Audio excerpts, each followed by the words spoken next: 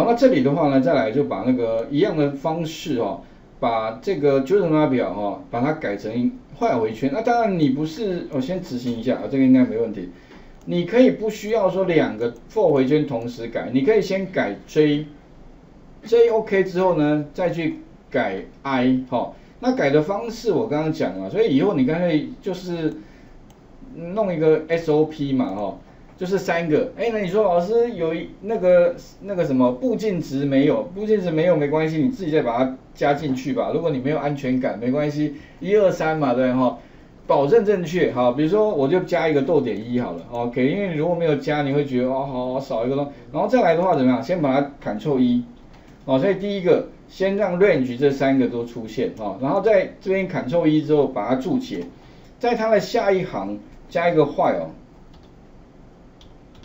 那坏有的话就条件嘛，坏有什么呢？坏有 J 有没有？所以你看它是 J 嘛，哈，J 怎么样呢？小于十冒号，OK，第一个 OK 了嘛，哈。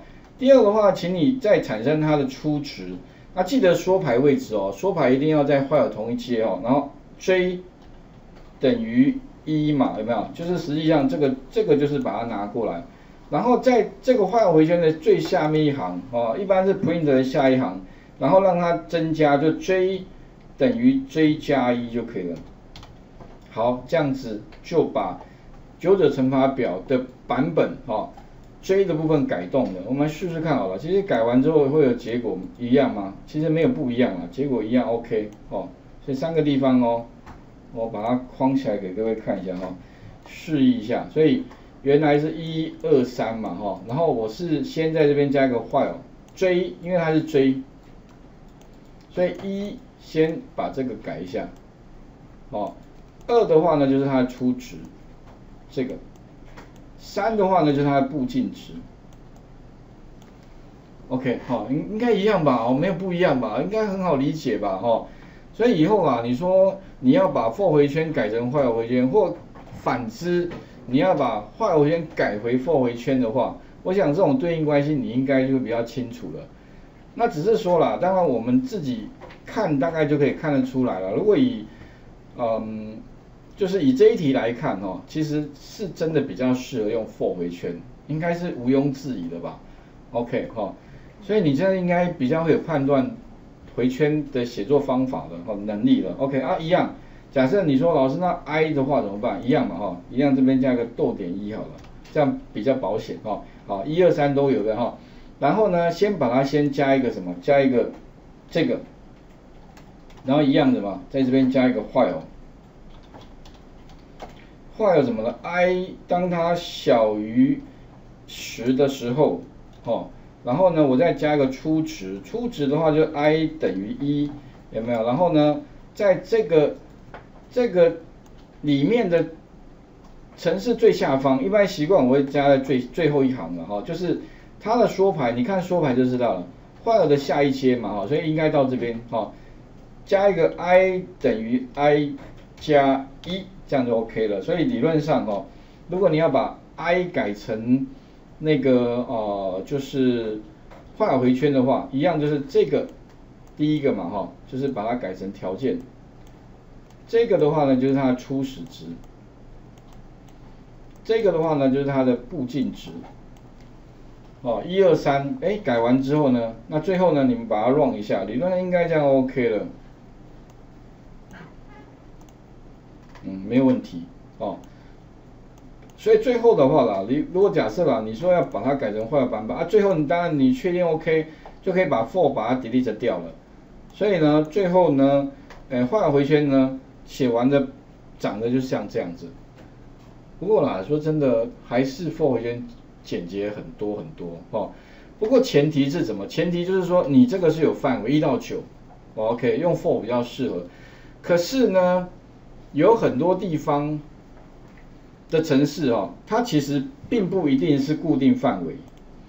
OK，如果假设不是固定范围的话，那当然你就不能用 for 回圈。比如说呢，哈，后面假设有一题，你们可以思考看看哦。就是在云端白板第三个单元的最下面，哎，比较下面的地方。比如说，我希望各位写一个叫猜数字游戏吧。好，比如说猜数字游戏这个，其实哈，说真的，你就不知道说对方会猜几次才会猜对吧？对，你说哦，你会猜两次，你会猜三次，这是假想嘛？可是如果你假设你猜很多次还猜，那所以呢，猜数字游戏它的呃规则很简单，就是我先用电脑乱数产生一个号码，它的范围是在一到二十之间，OK，然后让你猜猜看，到底是哪一个？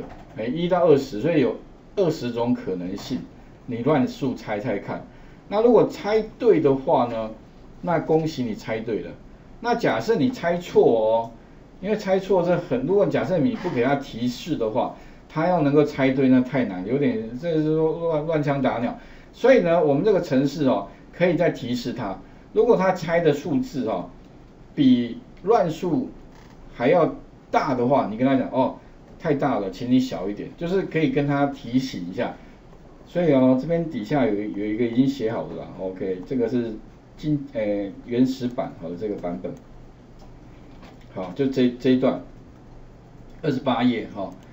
在第三个单元第二十八页这边哈，那这一题的话，当然哦，我们就不太可能用 for 回圈的，为什么？因为 for 回圈的话就会固定，好，所以我这个执行给各位看一下，诶，它乱数产生，所以有一个我们会需要一个 random 的一个模组，然后呢，random 里面有一个方法就是帮我产生乱数，哈啊，比如我不知道的话啊，猜猜什么比较好？诶，我随便猜一下啊，比如说我今天一到二十。那当然呢，有假设有次数限制的话，比如我猜十，按 Enter，太高了第一点，哎，所以如果删去法的话，太高的话，那等于是十以后都删掉，包含十，所以一到九嘛，哈，哎，一到九的话，那我猜五，五的话呢，刚好中间嘛，哈，太高了，所以再删去只剩一到四，所以现在的话呢，一到四，那我就猜一个二好了，一二三四嘛，四个机会，Enter。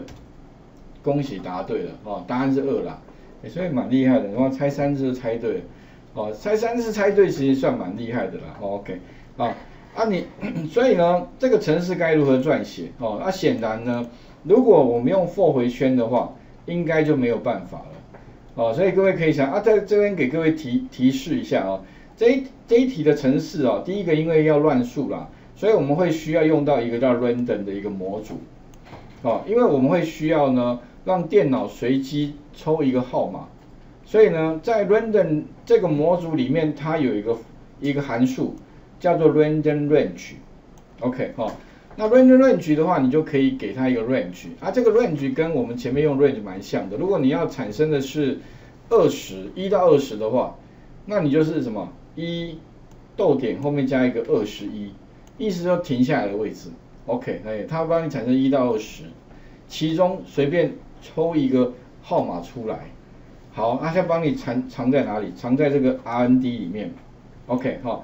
然后这个时候的话呢，你再让使用者去猜猜看，猜完之后的话呢，你就让他不断的去猜，直到猜对为止，OK 哦。所以啦，顺便讲一下哦，这个时候第一个一定要画回圈，OK 好。